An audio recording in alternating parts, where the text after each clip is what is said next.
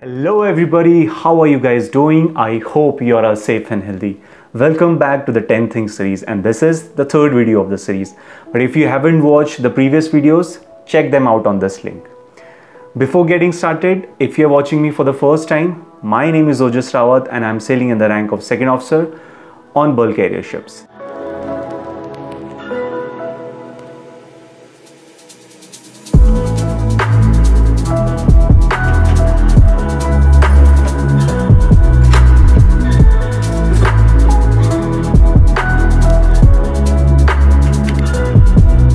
Today's video is about 10 things to look out for while preparing for competency exams and joining a ship as an officer. Point number one, planning. Proper planning for your courses and exams is very important. As soon as you complete your sea time, you have to look after all the colleges, those who are offering these courses, plan them accordingly, plan your uh, written exams, plan your oral exams if you're going overseas uh, for your exams let's say you're going you want to go for uh, your second mates or your class 4 from new zealand australia uk then also planning is very necessary guys. You have to plan your finance. You have to plan the time duration. For the duration you'll be uh, in that country for your exams your visa a lot of other things as well. So planning is most important point number two continuity. Now see as soon as you uh, complete your uh, foundation courses or your class 4 courses go for exams guys. Don't take a break because if you uh, if you break that continuity of your courses of your study it's very hard to regain that flow guys. Trust me as soon as the courses are over go for written attempt for oral attempt for post sea uh, more courses but don't take a break. I understand you know when we are preparing for our competency exams there are a lot of pressure a lot of hard work is there and we want to take a break in between. Yeah you should take a break you should unwind yourself but don't make that duration of that break too long because if you break that continuity guys it's very hard to regain that flow again. Point number three try to finish all the courses in time. Now here i am talking about all the post sea courses which you have to do before joining a ship. Let's say now your uh, written oral exams are over everything is done then you have to join let's say tank you're joining a tanker ship or a bulk carrier or gas carrier or whatever container.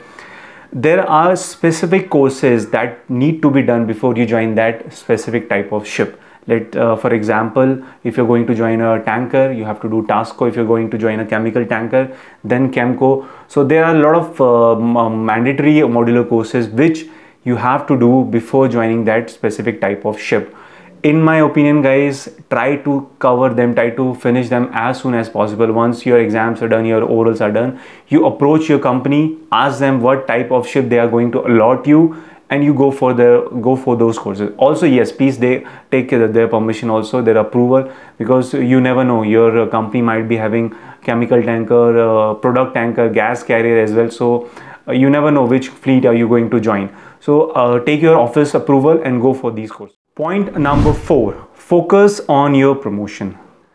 Nowadays, most of the shipping companies, they are sending the newly promoted officer as uh, additional third officer or junior officer or fourth officer also. Uh, it was same with me as well when I uh, cleared my second mate exam. I joined the ship as an additional third officer. My rank was fourth officer. And trust me guys, that is the time you have to give your best more than 100% itself. Because that is the time you will be preparing for your next rank.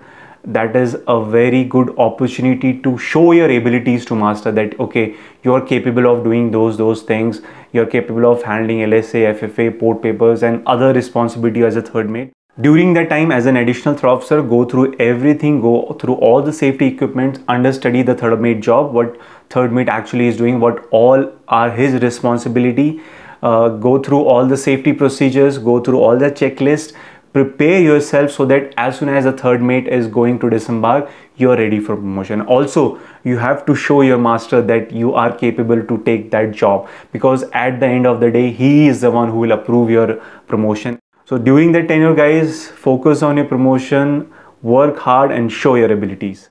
Point number five, keep on looking for opportunities. Now in this point, what I'm trying to tell you guys is keep looking for opportunity. Let's say you join uh, X shipping company and that shipping company you're not uh, fully satisfied you know the privilege they're offering the pay scale or uh, the atmosphere working atmosphere over, uh, in that company you're not so uh, you you're not so fond of that atmosphere so try to keep on looking for opportunity. As soon as you have uh, sufficient sea time with you as a junior officer as a third officer as a second officer keep updated your cv in various shipping website. There are numerous shipping jobs website. Keep your cv updated there.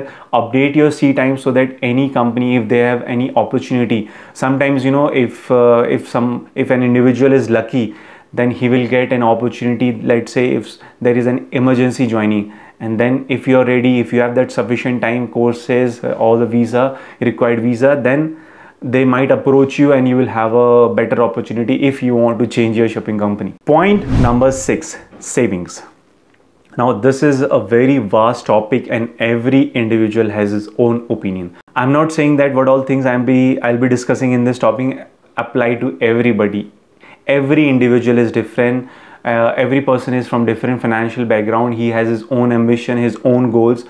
But you know like a, uh, as a seafarer we are capable of earning big capital in a smaller duration of time but what happens that we actually don't know how to manage that capital yeah some of the people i'm not saying that everybody is like that some of the people they have a good financial knowledge and they do proper investment since the start of their career now every individual have their own saving structure. They have their own investment method. I'm not saying that it applies to everybody you know. Uh, some of uh, the seafarer they believe in uh, fixed deposit and rd they believe in buying land gold. But some of them they believe in uh, investing in mutual funds stocks. We have to make our saving structure we have to build that saving structure from the day one itself as soon as we become an officer or an engineer. Firstly, as soon as you start earning guys, go for a term plan. Take a term plan because let's say if you become an officer or engineer at the age of 23 or 24, that time the installment which you have to pay for a term plan of 1 cr or 2 cr that will be very less compared to if you start a term plan at the age of 30 or 31 so you can imagine you know you will have a lesser installment and you can take a bigger amount of coverage to you and for your family. So take a term plan as soon as possible. Is you can if you can spare some time to read and to research about mutual funds stocks go ahead guys. That a that's a really good investment method.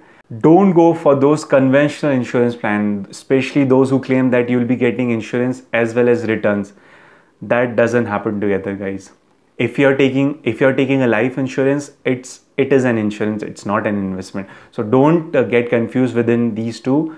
Point number seven try to complete your sea time for next rank as quickly as possible. As soon as you become an officer or an engineer try to finish off your sea time for the next rank as early as possible this is one of the mistake i did. My uh, duration of vacation between contracts was little bit too longer. And uh, i could not finish my required sea time for chief mate exams in time you know. That's why i started my course very late. So my suggestion to you guys is uh, if you don't have any personal commitment you don't have anything else try to finish off your uh, seat time as early as possible so that you can go you can appear for your courses you can go for exams and you can clear it off early point number 8 avoid refusing to join a ship. Let's understand this with an example. Suppose you signed up from a ship in the month of january. Now, as soon as you got off from the ship, you notified your shipping company that you will be ready to join in month of April.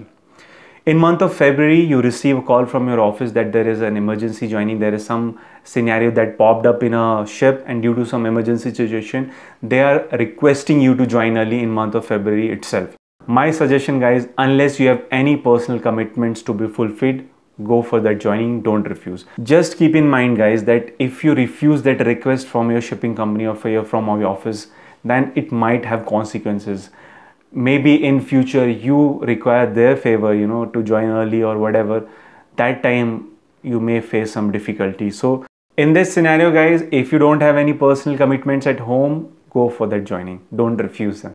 Point number 9 once your sea time is done go ahead for courses for next rank. Now, see, you have already completed your mandatory sea time and you're sailing in the rank of third officer or let's say second officer. Immediately, guys, go for your courses, go for your exam. Don't delay it anymore because what happens, you know, uh, you keep on sailing and i don't know maybe because of numerous reasons personal or financial reason you keep on delaying your courses. That's what i have done also. Trust me guys once you start delaying those courses it will keep on going. The delay will keep on going. As soon as you complete your sea time go for your courses. Don't wait for anything.